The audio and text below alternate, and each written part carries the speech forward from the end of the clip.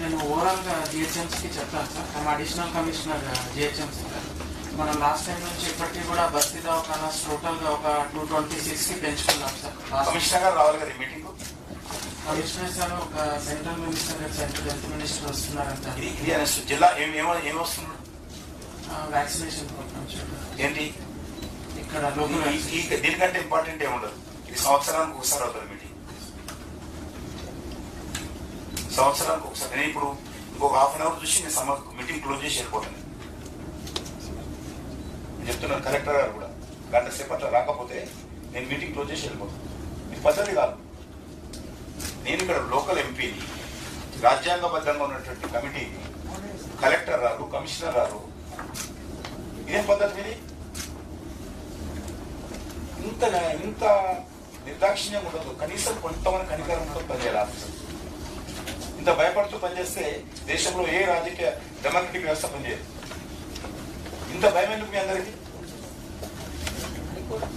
High court నాకు తెలిసి high court అందరికి చెప్పొచ్చు. నాకు నేను నేను ఎన్ని సంవత్సరాలు చూస్తున్నాను నేను ఇరవై సంవత్సరాల ప్రజాప్రతినిధి ఉండబట్టి కేంద్ర ప్రభుత్వంలో మూడు మూడు శాఖలు నడిపిస్తున్నాను క్యాబినెట్ మినిస్టర్లు. ఇంత అన్యాయం ఉంటుందా?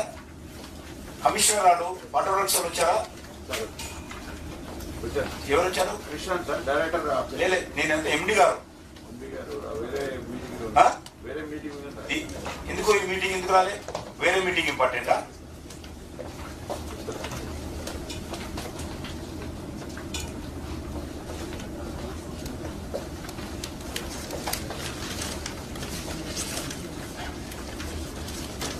వన్ అవర్ లోపల ఆఫీసర్స్ రాకపోతే నేను ఇక్కడ నుంచి లేవను.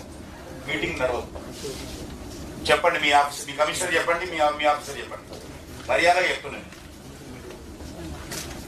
నేను. నేను మామూలుగా శాంతంగా ఉంటాను. కోపం వస్తే మాత్రం ఎవరు కాలను ఇంత ముందు మీరే ఇచ్చుకున్న నోటీస్ నేను ఇవ్వలే. మీ కలెక్టర్ గారు నోటీస్ ఇచ్చారు.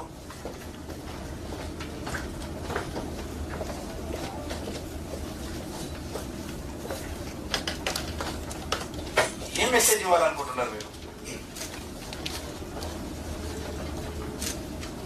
నా కాన్స్టిట్యున్సీ సంబంధించి క్యాబినెట్ మినిస్టర్గా ఈ యొక్క దిశ కమిటీ చైర్మన్గా నేను మీటింగ్ తీసుకుంటుంటే అధికారులు రాకుండా నేను వచ్చి కూర్చున్నట్లయితే?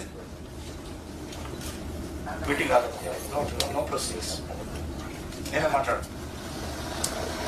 క్యాన్సర్ చేయాలి అటువంటిది వద్దన చెప్పేసామను అయిపోయింది కార్యక్రమం